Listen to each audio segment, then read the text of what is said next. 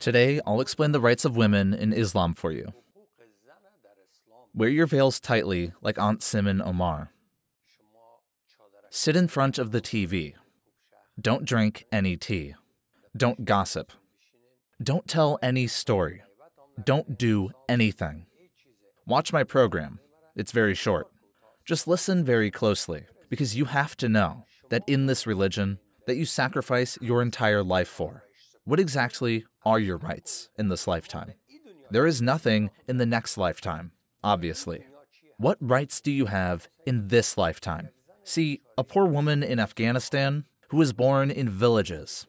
Most of the time, a girl is born in a village. She grows up in that village, gets married there, goes to another village, and she lives there until she dies, and does not come out of the yard until her dead body gets taken to the cemetery. What a life. Do women really have rights in Islamic countries? Some of you say, no, my mother and sister had rights. I'm saying it from the perspective of Islam and Quran. Your father was a good man, or you are a good man. Gave their right. That's a great, good job. But you are a bad Muslim that gave them their rights. I want to explain this from Holy Islam's perspective. Because in the religion of Islam, we say that women have best rights. To understand this, refer to Reverence Mr. Ayaz Niazi. No laws. No laws can be against the Islamic laws, rules, and regulations in Afghanistan. He says no laws in Islam can be against the Islamic laws. Islamic Sharia means Islamic laws. Why does he say that? Because at the same time, there was a law that came out. I said this in one of my previous programs. A law was passed in Afghanistan that if a man beat his wife, he has to be in jail for three months. And this man, as a Muslim, was responsible to stand against that law and encourage all the people to stand up against it too. He says the law can't be against the Sharia, religious law. Well, we should be happy to not allow a man to beat his wife. It's okay if there's a law that a man can't beat his wife. But he says no. Listen to what he says. In the anti violence law, it clearly mentions that if a woman is beaten, even if it doesn't make her disabled, her husband should be adjudged for three months imprisonment. There is an anti violence law that a man can't beat his wife. If he did, he will be prisoned for three months. Though it's not said if you broke her foot or hand. Only for a slap or beat, they will take you to jail. What kind of oppressive law is this? You belittled the men's rights here. Now, this law, this civil law that it must be, he compares this with Islamic laws about women, and he is a very highly educated scholar. See how nicely he explains this. If a woman is wise, she has to know from this what her rights in Islam are. Yes. I swear that Islam makes the best family discipline. The best family discipline. He says, I swear that Islam makes the best family discipline. And he swears to God. How nice. We have such a nice religion. We have to truly appreciate it. Okay, my brother, what is this applied law? the longest surah of the Quran, includes the family discipline, which is Surah al Baqarah. Surah al Baqarah, which is the second surah of the Quran, and is the longest surah in the Quran. He says it includes how a family should be disciplined. That's great. That's so good. Then he continues in Surah an Nisa, which discussed women's rights a woman who was deprived of inheritance, was deprived of compassion, was deprived of kindness, was deprived of being alive, was deprived of everything. Allah specified the rights, respect, and position of women in this holy surah. in Islam based on Allah's words, which Allah Himself said. This is the position of a woman in An-Nisa Surah. All of these things are mentioned, O brothers. It is in Islam. Women, you have enough rights. God Himself. Okay, that's so good. What are these rights? Reciting a verse from the Quran. It's the word of the Quran. Have nice behavior with your wives. Have nice behavior with your wives. Wow. Thank you, God, that you gave such a right to women. Thank you, God. You didn't get afraid of what God says here. He says, Oh, to those who made the law, you didn't get afraid of God? That if a man beats his wife, he must be in jail for three months.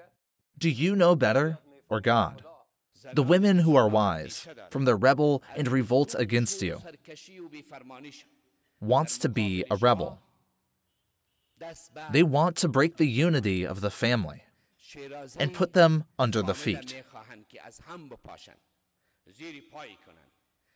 Quran did not say to take a stick and beat immediately. He says if your wife, if you are afraid that your wife is rebelling against you, rebelling. When we say rebelling, it means there are differences between you and your wife. You are at the top, your wife is here at the bottom. When this rebelled, slap it. This means she is under you. If I tell you that I'll punish you if you rebelled, or I'll get angry on you, or anything else, do not rebel means that I'm the one who commands, and you are the obedient. If your wife didn't agree with you and rebelled against you, if you tell her not to go to her father's home and she goes, it's a rebel. You tell her not to eat food unless I come and she eats it as she is hungry telling her that the home must be like this. Whatever she did against you is rebelling. Now, what will you do as a man? Should you forgive or say, it's okay, or we are equal, or what are the rights of men here? Quran didn't say to take a stick and beat immediately. He says, if she rebelled against you. The Quran doesn't say to take the stick and beat her immediately. No, Quran is a holy book. Idiot. Don't take the stick and beat her first means that's also there. But first, don't beat her. See how great tactics Allah taught us? Thank you again, God. See what God says. Tell her with kindness and in good manner. Advise her. Tell her nicely that didn't I tell you that day to not go to your father's home? Don't go anymore. Otherwise, I'll break your foot. Didn't I tell you not to do this anymore? Oh, wife. I told you the home should be broomed when I come. Oh, wife. Didn't I tell you? There. What did you do? You advised her. The person who advises and a person who should listen are different. The woman is at the bottom, and we, men, are at the top, advising her not to do these things. Okay, if it doesn't work, then what should we do?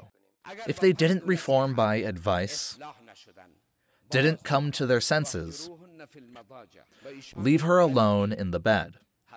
Move your bed further. Separate your room. It's Allah's command. If they didn't reform by advice, then keep her away from your bed. Tell her, I won't sleep with you anymore. Go and change your room. So if they didn't reform with this, as some of them are very stubborn, then what should we do with this, O scholar? If they didn't reform in this step, they continue rebelling and ignoring. Beat them. In case they still don't listen to you and are doing bad things. Bad things are anything. You told her to broom the home and she didn't. She went to her father's home. You can tell a woman that your father can't come to our house. She must tell her father that you can't come to our house. Her brother can't come. And also, you say don't see your mother anymore. You can lock her her entire lifetime. What a man says, the woman needs to do that. If she doesn't, now what is the third option? Reciting a verse in Arabic. Beat them. repeating the verse in Arabic. Beat her. Slap her. It's joyful slapping and telling her, You don't accept my word. Okay, dear mullah, that's good. Now we already beat her. But what if she dies due to our beating? But the Prophet explained this whipping, reciting a verse in Arabic. Okay, thanks. Allah didn't say in this verse how we should beat them. But the Prophet was smarter than God. He explained this. Thank you, Prophet. Thank you that you were there. You were smarter than God and told this to us. So, how should we beat them, O scholar? Beat her, but don't break her bone. beat her in a way not to break her bones. it means you can beat your wife, but not to break her bones, as the prophet says. Beat her enough to not break her bones, but not to break her bones. If her bones break, she will die. Don't do that. Beat her with a whip. Beat her with a rubber. See the rights that Islam gave to women? What are your rights in Islam now, in this lifetime? Your rights are to accept what your husband says. If you don't, they will throw you away. You should know that you have the right to be thrown. You have the right to be advised. And you have the right to be beaten. And who said these? Allah said. Why did Allah say this, dear scholar? He is the Creator. He created all our components. He is able to hear. He is the Creator. Reciting a verse in Arabic. He is the Creator. He created us and knows everything about us. He knows what is good for us.